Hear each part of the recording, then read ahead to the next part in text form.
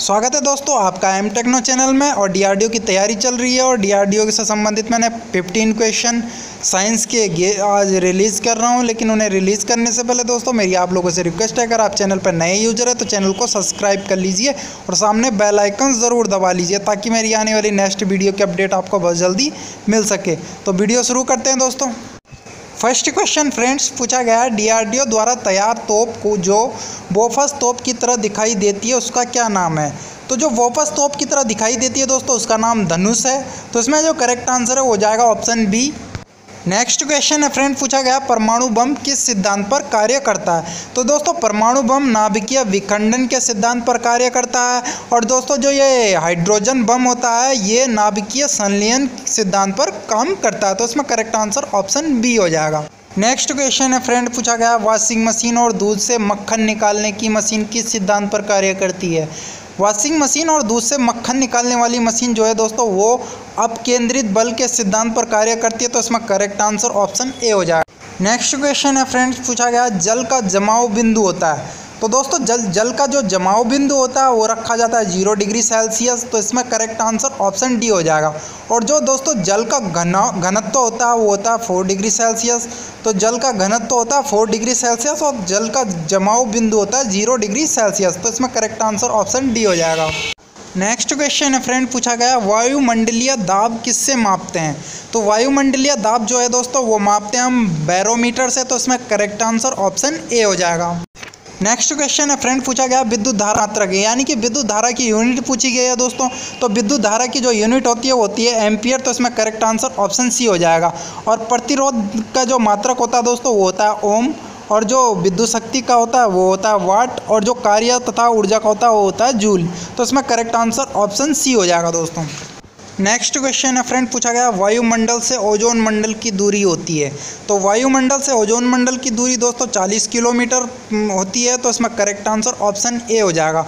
और दोस्तों जो वायुमंडल से आयनो मंडल की दूरी पूछ लेता है कभी कभी तो वायुमंडल से आयनो मंडल की दूरी 100 किलोमीटर होती है तो इसमें करेक्ट आंसर ऑप्शन ए हो जाएगा दोस्तों। नेक्स्ट क्वेश्चन है फ्रेंड पूछा गया आँसू का पीएच मान होता है, यानी कि इसमें वैल्यू पूछी गई है। तो दोस्तों, आँसू का जो होता है, वो होता है सेवन पॉइंट फोर और सेवन जो होता है दोस्तों, वो होता है उदासीन घोल और जल का जो होता है, वो सेवन होता है और सिक्स पॉइंट फोर रखा जाता है, दूध का होता है सिक्स पॉइंट फोर और एट पॉइंट फाइव होता है दोस्तों, समुद्री जल का। तो जो इसमें करेक्ट आंसर है, आँसू का पीएच मान, वो है option A seven point four मान। नेक्स्ट क्वेश्चन है दोस्तों, पूछा गया, पहले ही प्रयास में मंगल ग्रह मिशन मिशन पर भेजने वाला देश कौन सा बना था? तो पहले ही प्रयास में मंगल ग्रह मिशन भेजने वाला देश बना था दोस्तों, वो है भारत। तो इसमें करेक्ट आंसर ऑप्शन सी हो जाएगा, यानी कि इंडिया नेक्स्ट क्वेश्चन है फ्रेंड पूछा गया, बंदर में गुण सूत्रों की संख्या होती है।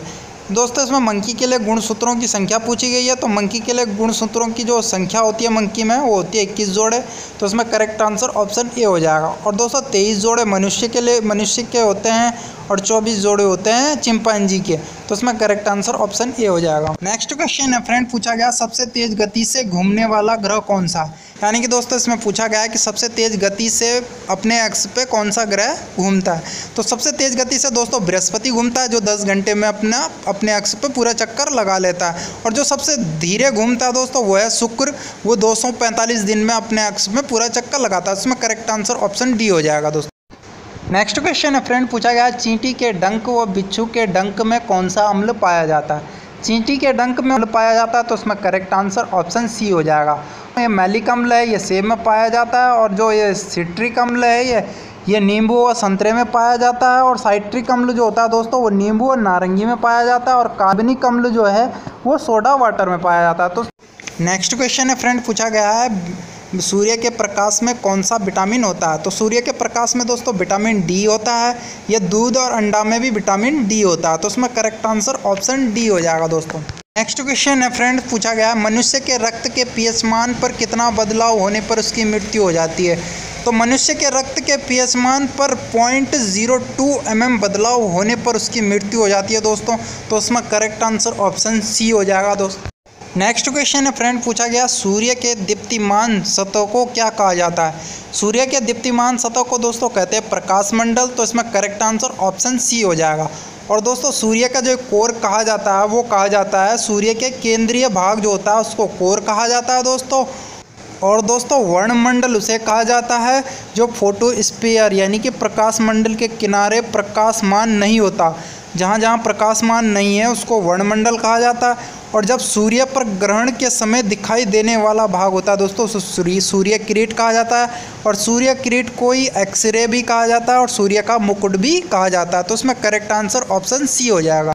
थैंक यू दोस्तों मेरी इस वीडियो को अंत तक देखने के लिए। अगर आपको वीडियो अच्छी लगी हो तो लाइक कीजिए शेयर कीजिए और सब्सक्राइब कीजिए और सामने बेल आइकन ज़रूर दबा लीजिए।